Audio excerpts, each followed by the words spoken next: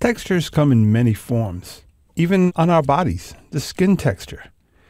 Now it's very obvious in this one particular image way up here. I'm going to zoom in on this arm here. And when we look at it, we see that there is a skin texture to the arm. Now, I didn't create it like here.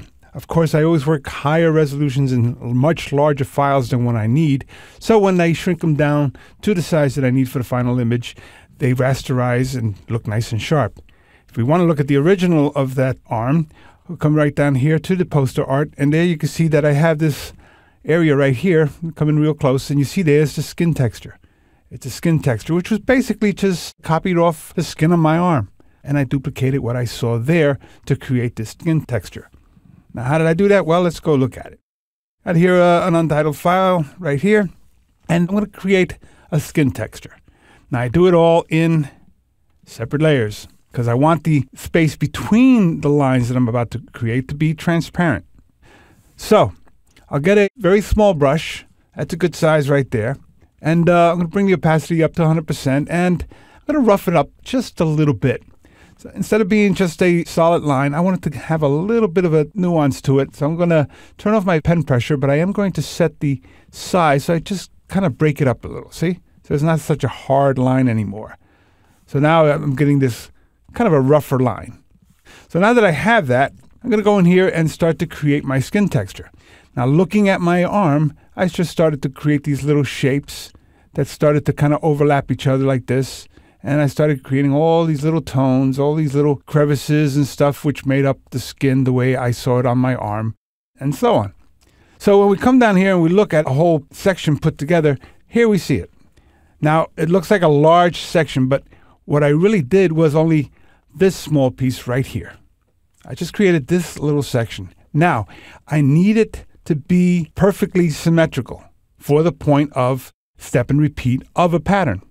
So I made a copy of it and I put the copy right next to it. And then I connected those particular lines. See, so I took this section, brought it over, made a copy, and then connected those little sections through here with the little pieces that were missing. So now, in essence, I have a continuation. You notice that these two little segments right here are right here. So now I've got this big section here. So what I did is I took the entire thing and duplicated it down below. So now I have the beginnings of my continuous pattern here. Because we see that we have this box, which continues down here with this one right below it. And there's the two that are going in four places. So now I have to go in there and select my pattern. So I need to find a place where I can easily select these so they'll be seamless. So I call up my rulers and I bring out some paths.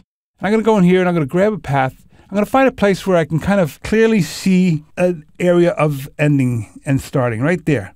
I'm looking at this little area right here and I'm placing my guide right at the beginning of those boxes right there.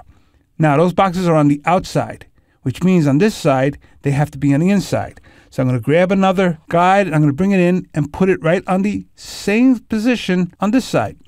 Now, if it's not exact, well, I can go in there and, and get real close and get real close on this. And I see that there's my guide right at the beginning of those two little boxes. So on this side, it has to be in the right place. So I'm going to go in there and grab that handle and just drag it right there. So now it's in the exact same spot as on the other side.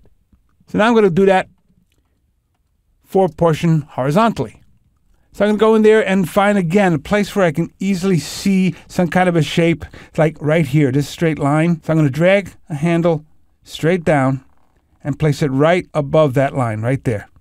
So now I look for that same little box down here and I put the line in the same spot for this one down here. So I come down here and I put it right there. So now I have my boundaries for my selection because the step and repeat where it ends here, it picks itself up back over here. Where it ends here, it picks itself up back down here. So now that I have that, I'm going to turn off my background so I have transparency between these. And when I pull back, I can now make that selection right within those guides. It's going to snap to the guides and I just make it select right that. And I say define pattern. And we'll call it skin. And now that I have that, I'm done. So I can deselect it and I can go over to uh, another file here there's my hand where I'm going to be putting the skin. So let's first create the pattern so we can have it as a file we can take and put in other places. So I'm going to go right here to this untitled file where I started this little piece here, and let's throw that away. We don't want that. But in that layer, I'm going to fill it with that pattern we created.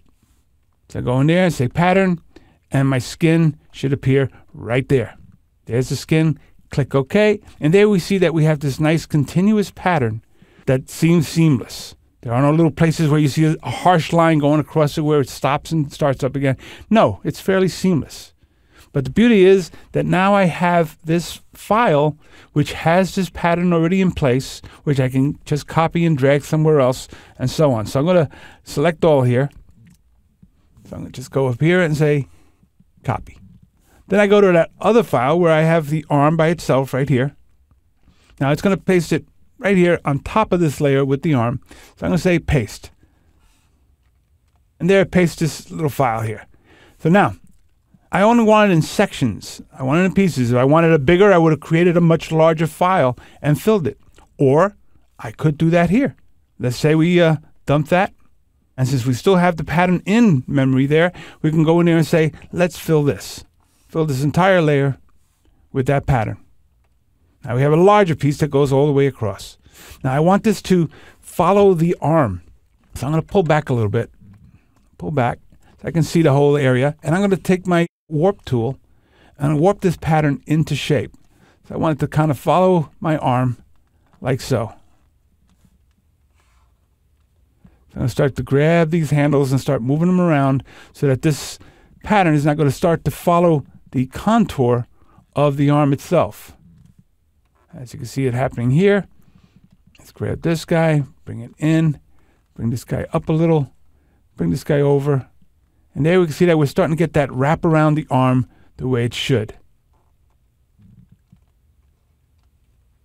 It's just a question of studying the shape and then just having everything just wrap around.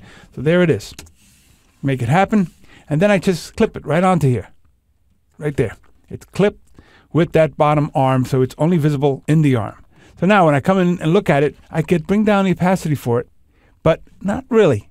I'm going to bring the opacity back up to 100 because of the fact that I want to give this a little kind of a texture to it, a little sense of depth. So I'm going to give it a layer style. I'm going to give it a little bevel and emboss. The bevel and emboss is going to just add this little texture in there. So I'm going to bring this down to about one. And I'm going to bring up the highlight. So I get a really strong highlight. I'm going to have the light coming from right about here. And then uh, increase my darkness as well. And then I'm going to bring down the fill opacity so that the actual black lines start to go away. And I'm going to be left with this nice little texture right in there of the highlights and shadows. When I click OK, I can now bring down the opacity for the overall arm. So I just start getting this little hint of the texture on the arm. And then the final thing I'll do is I'll give it a mask. And then I start to go in and paint up the areas that I don't want to see. So I get a nice big brush with a soft edge, make it really big here.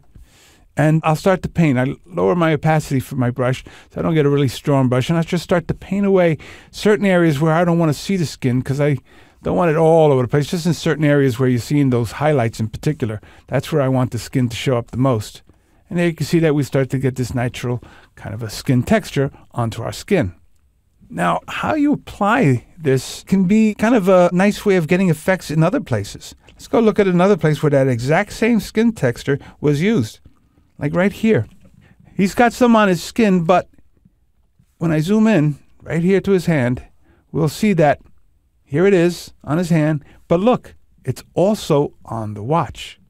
So if I go in here and look at that watch skin, I'm going to hold on my control key and click to say there's watch skin and there's the skin right there. In this particular case, I gave it a drop shadow. So we're seeing this little shadow underneath that texture, which is giving us that nice little effect in there. So there's the same skin texture, except here now it starts to look like leather. Same texture, two different applications for it, and you get the effect to make it look realistic.